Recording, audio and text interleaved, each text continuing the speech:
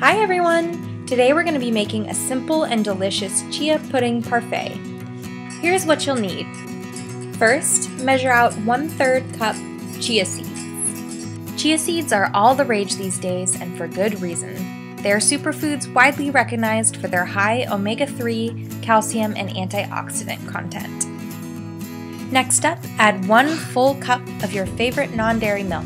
Here we're using almond milk, but coconut and soy milk also work wonderfully. Now to add some flavor. I recommend adding vanilla extract, but you can also add almonds or any other flavoring that you'd like.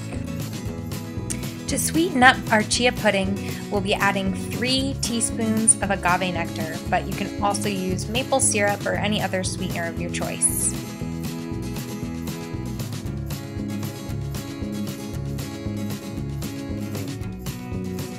Now just mix it up really well and you'll be ready to pop it in the refrigerator. You'll want to leave it in the refrigerator for at least 30 minutes or up to overnight because that gives the chia seeds a chance to absorb the moisture and become thick and gelatinous and pudding-like.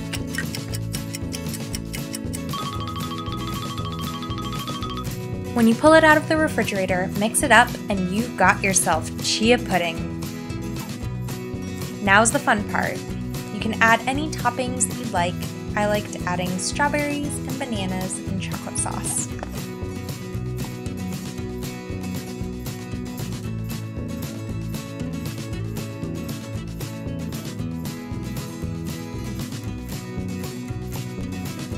When you're looking for a filling, nutritious, and delicious treat, chia pudding has you covered.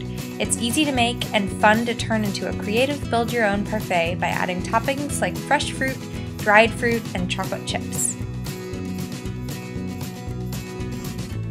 Thanks for watching! For more videos, tips, and recipes, click subscribe and visit vegan.com.